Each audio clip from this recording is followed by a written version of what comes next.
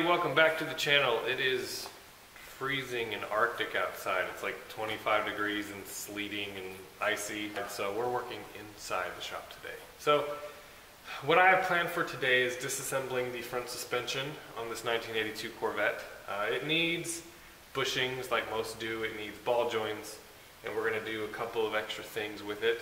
I'm not going to show you the complete process because that would make an insanely long video, but what I'm going to show you is some tips and tricks that you guys can do when disassembling your front suspension to make it just a little bit easier.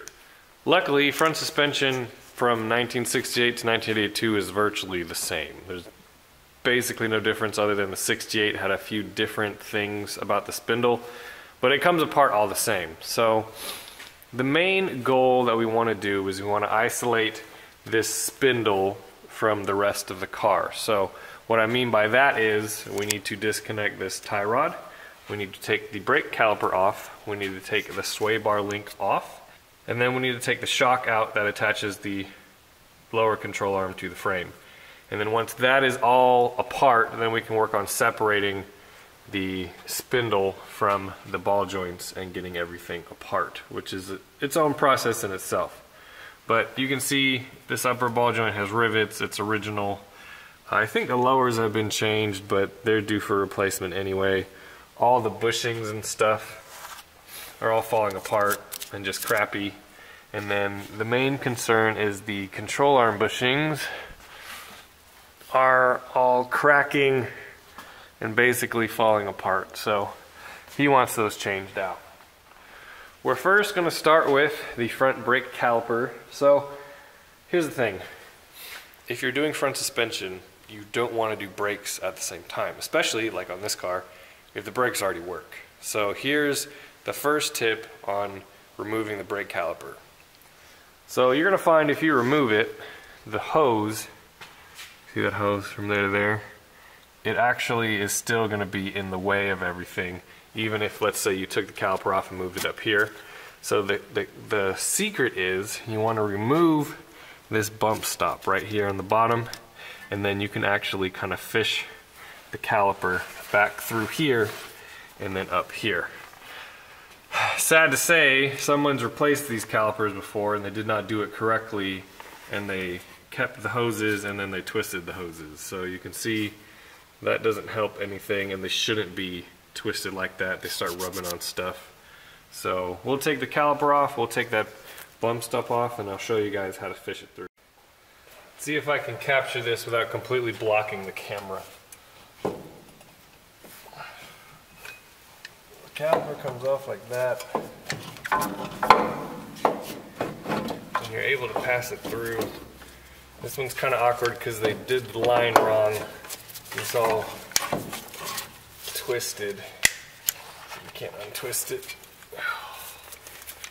See, that's the secret to these calipers is if you install them that way, see if I installed it back again, it wouldn't be twisted anymore because, anyway, something you can learn. So I'm gonna zip tie it up top, up pretty much over here to the frame, get it out of the way, and then that way we don't have to bleed brakes, and that's an awesome thing.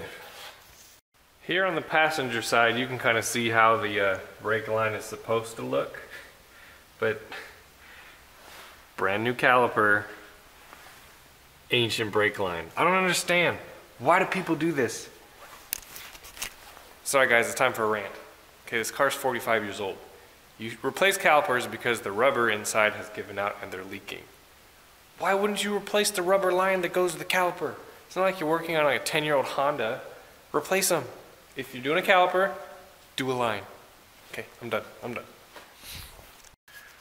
I guess my rant isn't over. New caliper, old pads. Look at this. I, I just lifted the caliper off and this pad just completely fell apart. And you can see this one on the other side is kind of doing the same thing. It's starting to separate. I don't understand. I mean, how much is a set of pads? Next, we're going to talk about these sway bar bushings, and in reality, all the bushings that you put in your Corvette front suspension. So these are actually polyurethane bushings. they really don't last. I think they're fairly new, but they've kind of just fallen into pieces. They're really hard and they're just not. Just put rubber in, guys. You don't drive a race car, you don't drive an autocross car. Just put in rubber bushings and you'll be fine. Next, we're going to talk about removing the shocks. So, a lot of times what you'll find is that these top nuts are rusted to the shaft. And when that happens, like you put an impact on it and it'll just spin. This whole shaft itself will spin because it's it spins inside the shock. It's not connected to anything inside.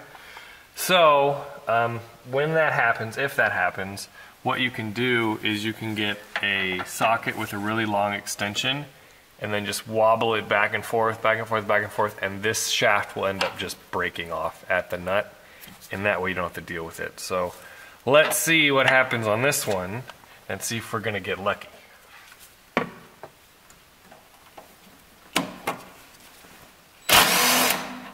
Alright, we got lucky.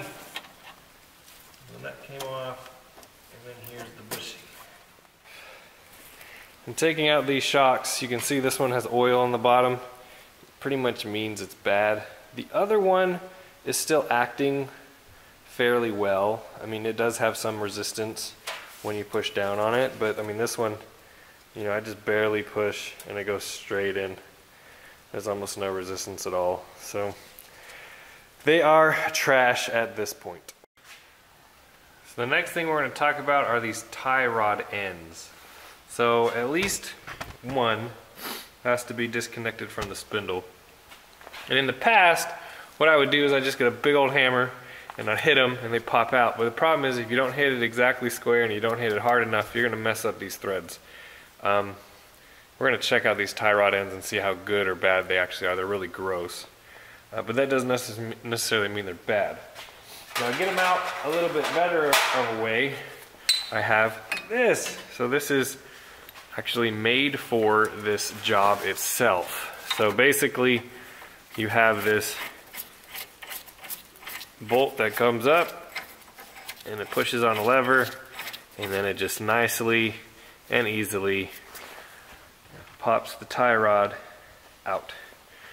And the cool part is, I didn't know about this until I saw somebody on social media using it, and I was like, that's the coolest thing ever. So I have upgraded. I have something cool, and I'm sharing it with you guys so you guys can do the same thing and not ruin your tie rod ends.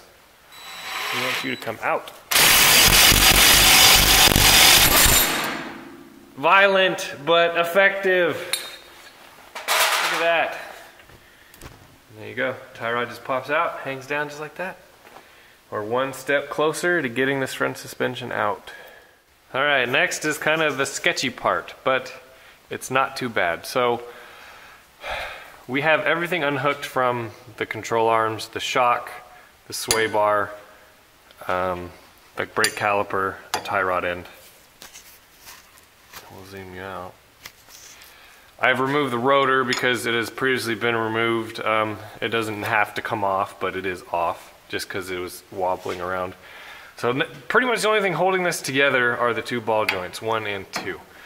And there's a specific way we want to take this apart just because this spring right here is under a whole bunch of pressure.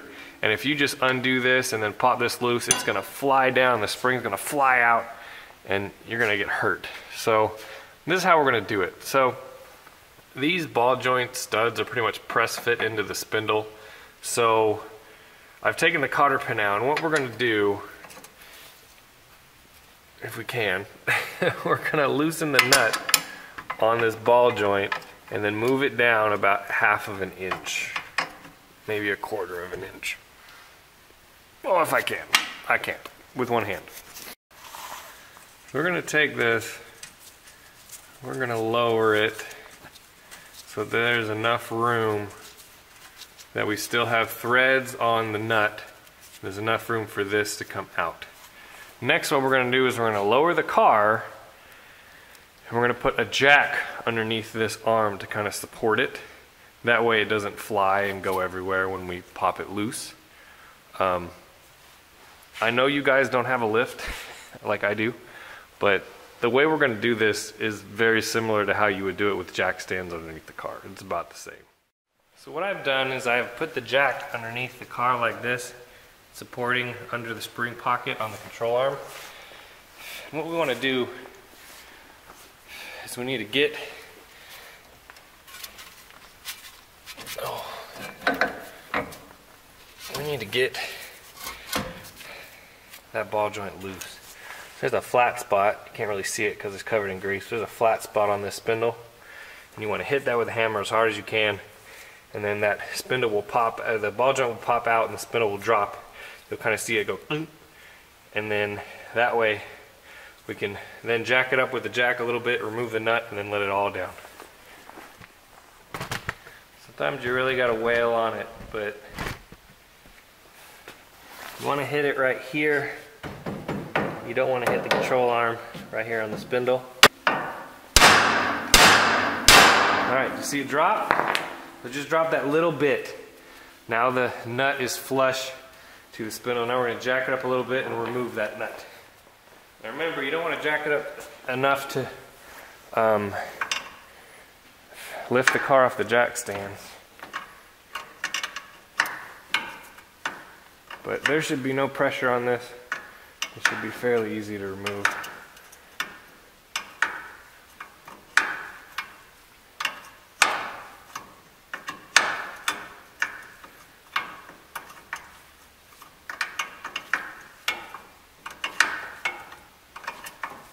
Now, remind, I'm reminding you guys, I am way far away from this.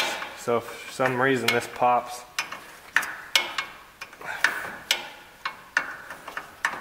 nothing will get hit. Maybe my hand, but that's it. None of my face. I'm not like in front of the, the spring or the spindle or anything like that. Remember, the jack is taking up all the load that, that spring is under because that spring is actually under quite a bit of tension.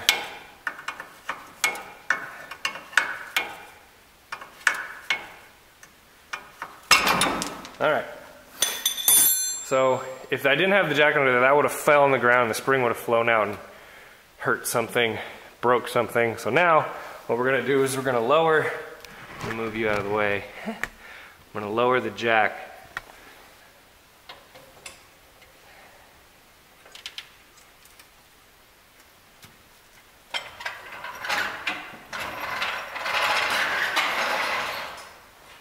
Now at this point, if I was on jack stands in a garage, I would take my jack and I would lift the front of the car up so that there's enough clearance to let that spring out. Since I have a lift, I'm going to lift the car up and I'll show you.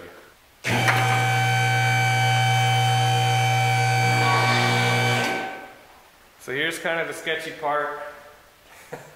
this is when you want a really long tool or some kind of 2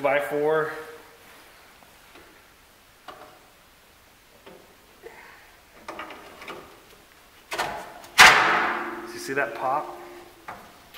That's what you, that's what you kind of want to avoid. We got that tie rod. That pot spring is under pressure. I think we got mostly off the pressure now.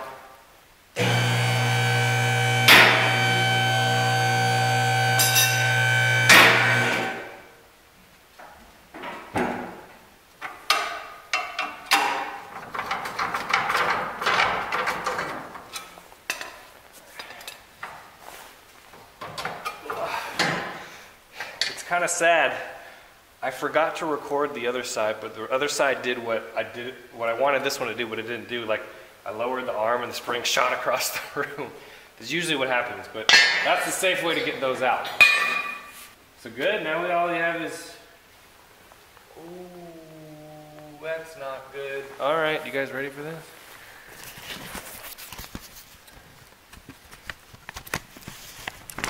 Alright guys, this is live. This is the kind of thing that I see all the time. You see this?